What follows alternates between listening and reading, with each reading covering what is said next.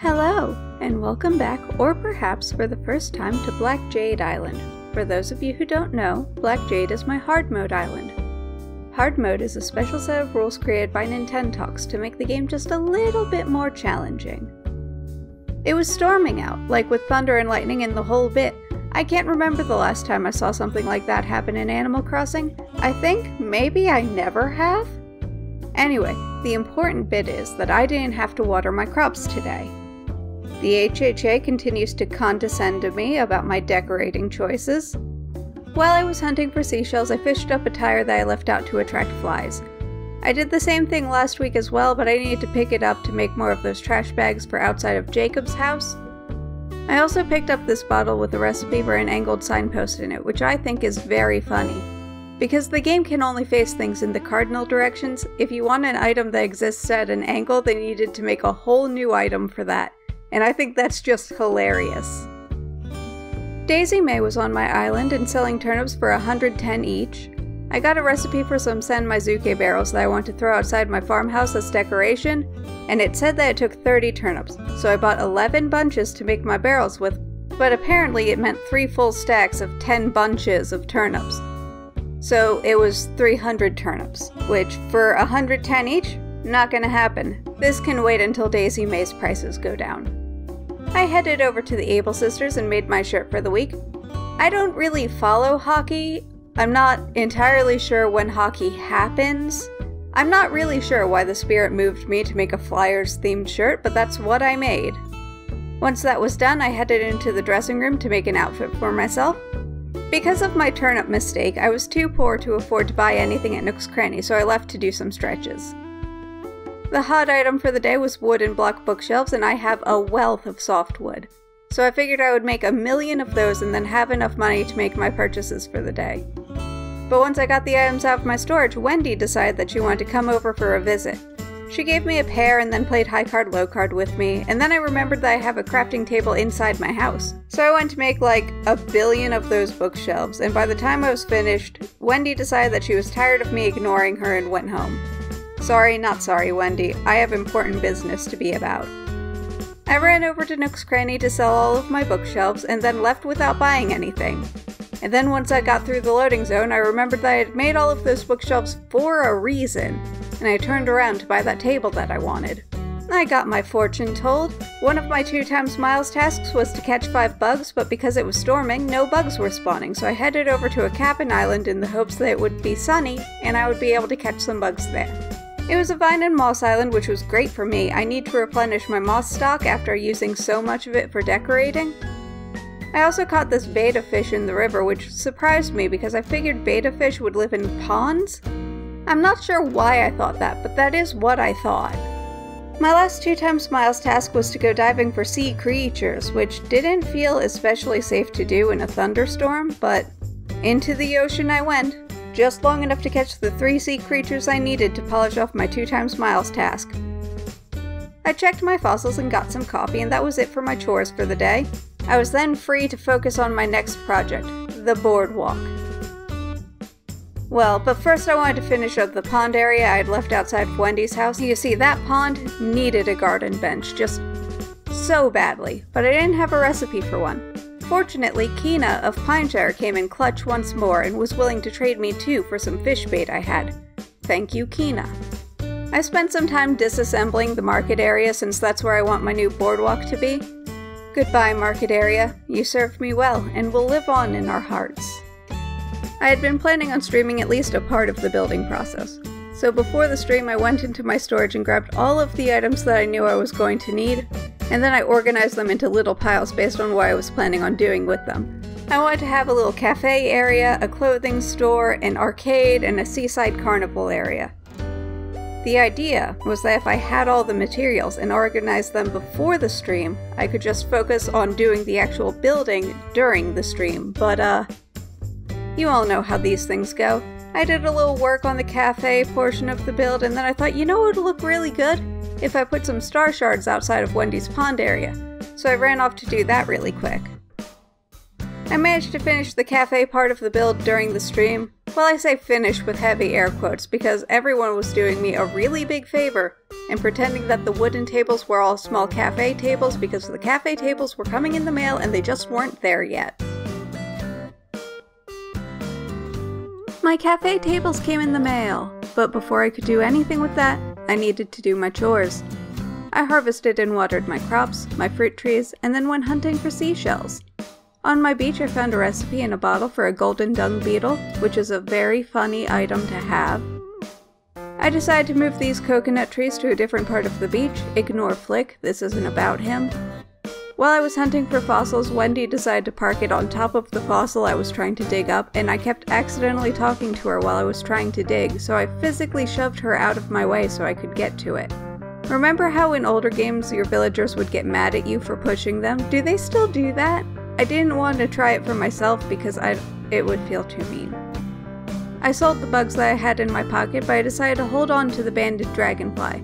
Because I already had two of them in Bug Jail, it only made sense to use it as my model for the day. I checked my fossils and got some coffee, and then I headed over to Harv's Island. From Red, I bought this fake statue from decorating purposes. I still want a fake Valor statue to put outside my museum, but if I can't get it before the time comes for me to work on that build, I'll just use this one. I checked my fortune. The Nooklings were buying turnips for 110 each. I didn't go for it, but I thought it was funny enough to mention it here. I bought this couch and then headed over to the Able Sisters to make my purchases there. I went diving to clear out my last two times miles task, and then I did a little more diving to try and scrape together some more money. I'm ridiculously close to being able to pay off my home loan, but diving is still boring as hell, so I stopped pretty quickly. I did my stretches, filled my pockets with bugs to sell to Flick. Well, that was the plan. After a few catches, my net broke, and I decided that it would be best to give it up there, because I had some very important decorating to do. I used the archstone pathing as a placeholder until I could get around to making a custom path for this area. I ended up not being very happy with how the area was turning out, so I decided to step away and really think about how I was going to lay this all out. I got some more things that I wanted for the boardwalk in the mail, so I ran over to set those out. I'm not crazy about where I left the bench, but I can always fix it later. First, I need to worry about actually completing my daily tasks starting with harvesting and watering my crops. Sparrow had a thought bubble, but he just wanted me to deliver an apology gift to Jacob. Not sure why Sparrow has been causing so much drama on my island lately. He needs to calm down. I did my stretches before heading over to deliver the gift to Jacob. In return, he gave me a shirt I can't wear. I checked my fossils and got some coffee. Then I headed over to Nook's Cranny. Turnips prices were up to 138 apiece today, so I thought they would probably go up even more and held off on selling them. Instead, I made some purchases. I got my fortune told. Red was on my island, so I couldn't check to see what he replaced the robust statue with yet. I headed over to his shop and. So the Jolly painting. It's come up in his stock before. I thought that if it had the little wheat sprig on his chest, it was a fake. And if it wasn't there, it was real. It turns out that I had that backwards. I was so confident that I didn't double check myself by looking at an art guide. I didn't even look at the other paintings. I just slammed my money down on the counter, blissfully unaware that I was being scammed. And then I went to redo the boutique area. I also decided that I wanted to move my Nook's Cranny and Able Sisters down to the boardwalk as well, so I blocked out some space for them. I knew that I wanted some fencing behind the boutique to use as decoration. I made a couple different options to see which ones I liked best. I ended up going with this tall lattice fencing that I had painted purple. I asked Thomas if we could move Patty's house to the designated area. A throwback rocket fell from the sky, so I decided to throw, ha, it into the pile with the rest of the items that I'm planning to use in my increasingly elaborate amusement park area. I've discovered that I really like layering the hedges with tall fences behind them. I think it looks really nice, especially in the spring when the hedges are a nice shade of green. And I decided to take the plumeria bushes that I didn't really have any other plans for and use them to line the side of the shop. I'm a little concerned that having them all be the same color will be a bit boring, but we'll just have to wait to see when they come into bloom. If I don't like it, I can always swap them out later. I also stole some of the plants from my living room to use to decorate the boutique a bit more. The flooring still isn't what I want, but other than that, I would call this area done. I think it came out really nice. I decided to finish my day off by finally paying off my home loan and getting the last house upgrade. Isabelle announced that we have a visitor at our campsite. Oh no! I harvested and watered my crops and then ran over to the boardwalk area to noodle around with that and put off having to deal with the campsite visitor for just a little bit longer. But the very instant I put my hard hat on, I noticed a golden balloon floating by. You know what that means. I have the recipe to make a golden slingshot, my first golden tool recipe. Eugene randomly stopped me to give me a pair of sunglasses that I didn't really want. But it's the thought that counts. Maybe I can re-gift them to somebody at some point. Maybe Wendy. I think she'd like them, assuming she doesn't get booted off my island by the campsite visitor. A black rose spawned from my red roses. If I can clone this one, the pair has a chance to finally give me that blue rose. The red roses also have a very small chance of spawning one, but the black ones have a slightly higher chance at 5% rather than 1.5%. Sahara was on my island, so I bought one of every size of rug as well as mystery flooring and wallpaper. And I couldn't justify putting it off any longer. I had to go see who was at the campsite. It was Candy, she's cute enough I suppose, but I don't really need any more peppy villagers. Unfortunately, I have no choice. I have to convince her to come to my island. Double unfortunately, I was having just the hardest time with the card games she kept challenging me to. It took like seven tries to eventually convince her. And then she had the audacity to replace Norma. So now I have three peppy villagers and no normal type villagers. And what's worse? I never managed to get that cutting board off of Norma. My island is in shambles. I may never feel joy again. With a heavy heart, I checked my fossils. Blathers let me know I had gotten scammed by Red, and then I went and got some coffee. I did my stretches before heading over to Harv's Island.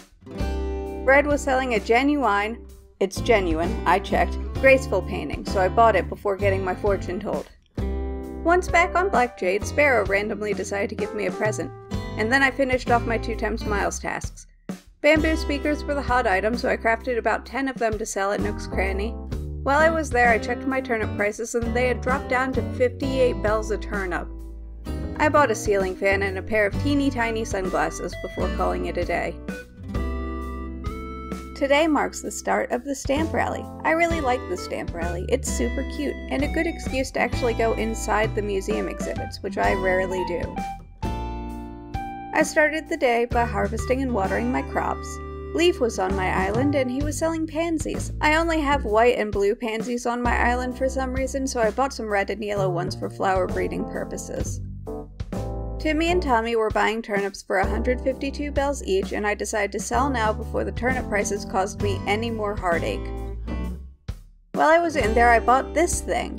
I don't know what it is or what it does, but I wanted it and then I headed over to the Able sisters.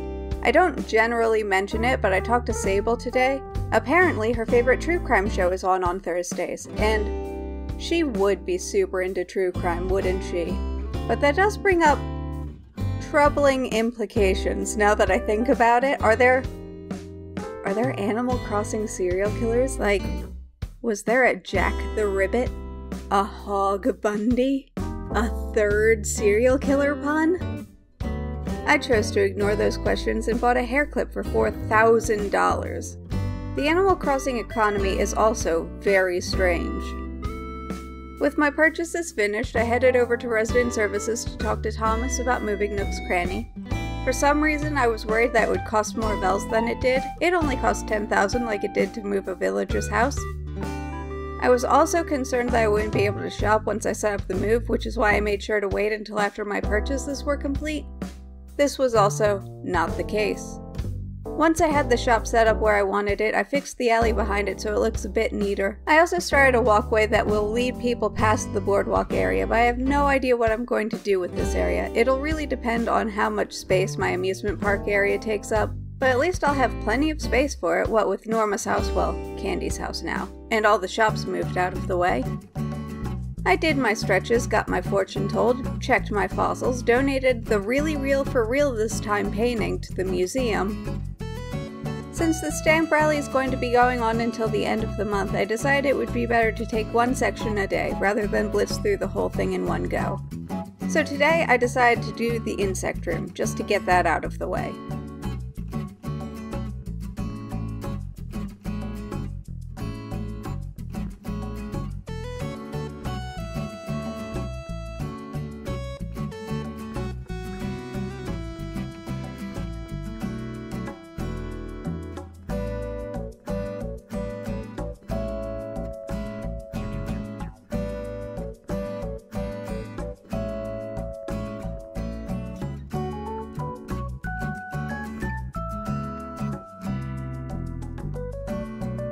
Once that was done, I got my coffee, I finished off my two times miles task, and then tragedy struck Black Jade once more. Jacob decided that he wanted to move out. I started the day by harvesting and watering my crops. While I was hunting for fossils, I found a lost item. From the description, I assumed it was Fuchsia's. It turns out that I had the right personality type but the wrong villager. It actually belonged to Rocket. She gave me some garbage I didn't want for returning it to her. Kicks was on my island, so I bought some bags and socks before heading over to the Able Sisters. I know from yesterday that the shop won't close when I ask them to move, but I was feeling paranoid about it and decided to make my purchases there before asking them to move anyway. Once I got that squared away, I went to say my final goodbyes to Jacob. I'm sorry, Jacob. I didn't pay as much attention to you as I probably should have. Then it was back to circling my island hunting for fossils. There was a particularly sneakily placed one hiding between Rocket and Jacob's houses, which I thought was just kinda mean. Natural garden chairs were the hot item, so I made a bunch to sell so I could buy myself a second fighting game cabinet from Nook's Cranny. I also made these tall stone lanterns to replace the street lamps that I have in the bamboo forest. I think these fit the vibe a bit better. Sparrow had a thought bubble, but he needed to wait until I finished catching this black bass.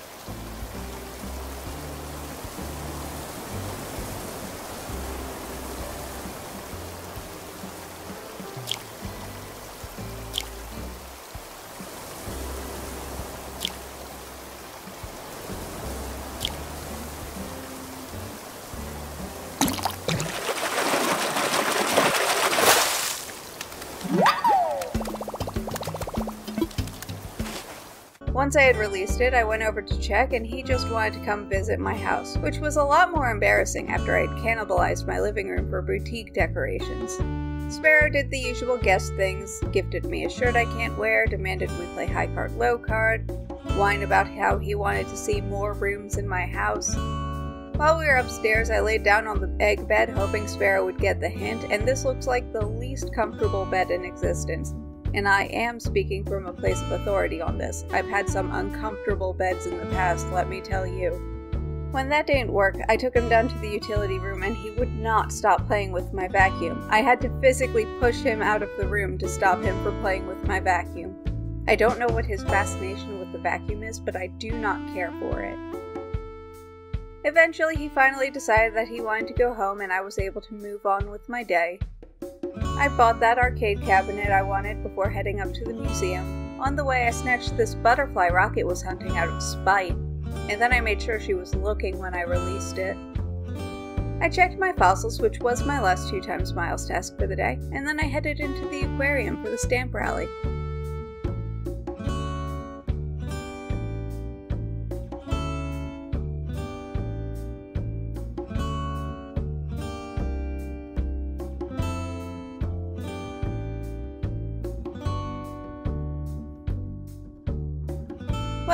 There, I took some time to look at the fish, and the oarfish is just so funny to me. It doesn't seem to have a swimming animation, it just hangs out at a slight angle and doesn't move. Granted, I don't know anything about oarfish, maybe that's just how they are.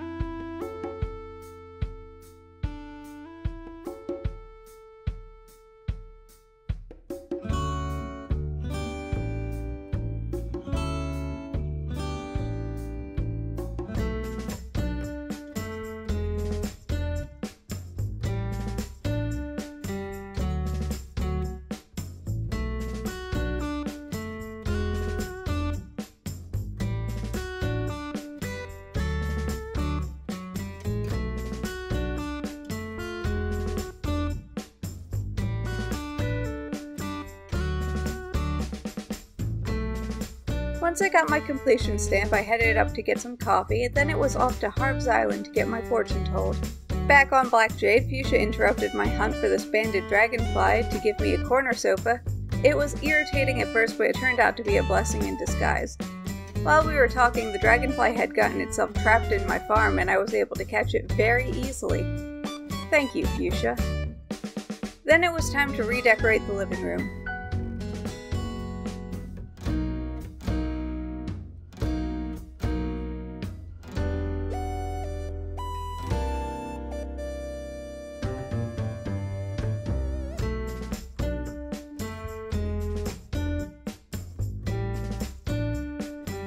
I debated using this dark red wallpaper, but switched to this dark brown one instead.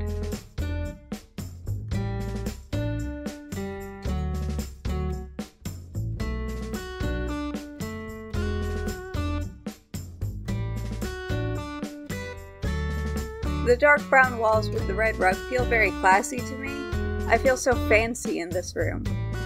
My only complaint is that I wish I had a higher variety of hanging lights because none of the ones I own fit the vibe that I was going for. I am planning on putting all four of the stamp rally plaques here, but I only have two of them right now, so the room is still a work in progress.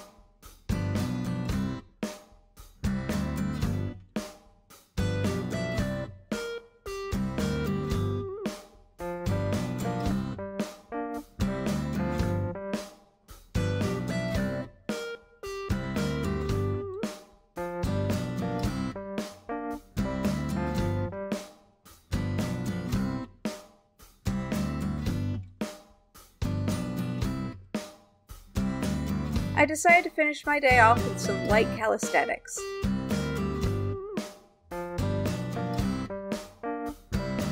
I started the day by taking care of my crops. While hitting this rock, I managed to catch a second centipede. One more, and I'll be able to get that model from Flick, which I will promptly banish from my island forever during a weekend market, so keep your eyes open for that. The recipe bottle was for a golden decorative plate. I assumed that it meant like a door plate, but no, it meant like a dinner plate. Kind of disappointing, to be honest. I saw a jewel beetle on my tree stump, got too excited and accidentally scared it away, but I managed to redeem myself by catching the next one moments later, so it turned out fine, I think. I ran over to get my fortune told and then opened my gates to invite Kina over to the island. I had an item that she wanted and I didn't, and in exchange she dropped a boatload of presents on me. If I'm being honest, some of these are probably going to find their way into mystery bags. Once Kina had headed home, I went to make my purchases. I bought this ant farm and then a chemistry set that I didn't realize I already had in my storage, so now I have two. I guess I'll toss one into my market since I really don't need a second one. Then I headed over to the Able Sisters to buy these tacky sunglasses. I did some stretches, got jump scared by this giant dragonfly statue that I had put up here and forgotten about. Rocket had parked it in front of her own house and just refused to move the entire stream. Not sure what her deal was today. I checked my fossils and then headed down to the fossil exhibit to collect the stamps therein.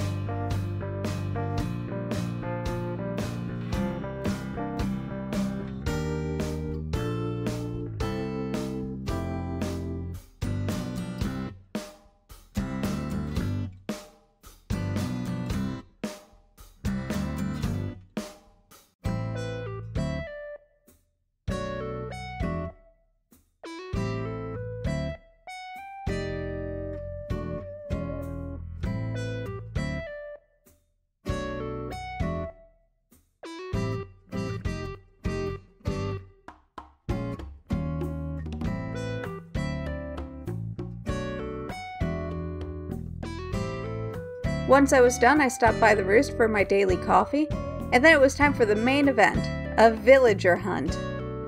Our first contestant was Naomi, which was a hard pass from me. I'm pretty neutral on the cow villagers in general, but I strongly dislike Naomi's design.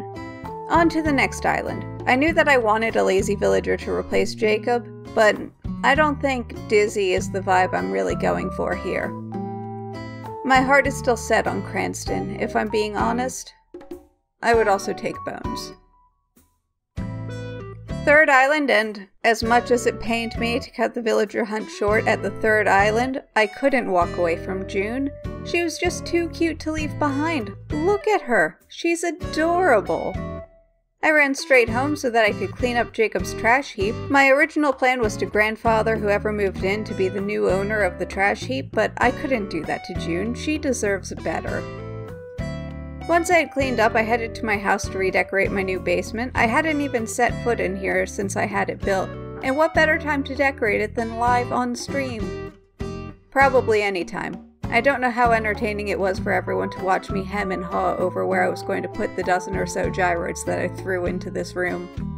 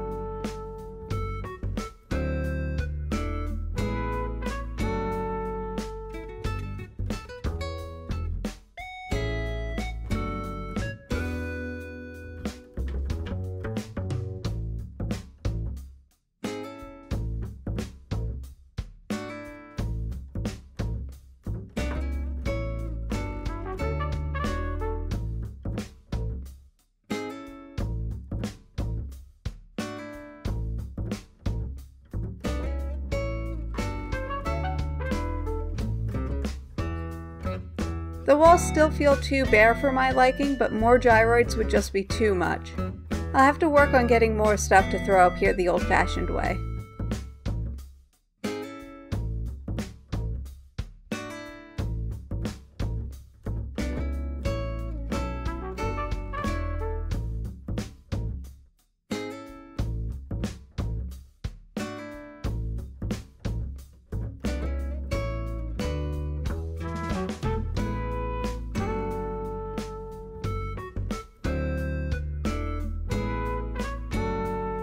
But until then, this is as done as it's going to get, so I called it there and headed to a Kapp'n Island.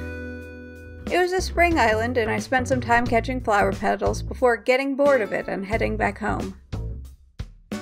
And with that, thank you all so much for watching. If you liked the video, please hit the button that tells me so.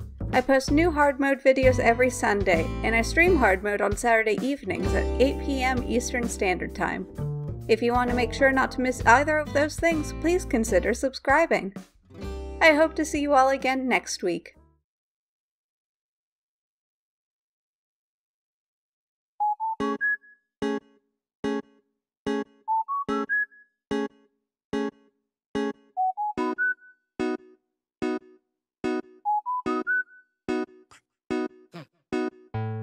me, me, me, me.